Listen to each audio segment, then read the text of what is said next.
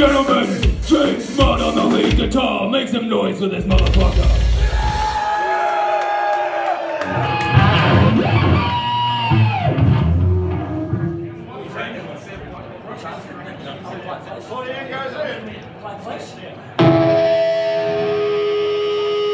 Well, aside from a little bit of uh, premature guitar change,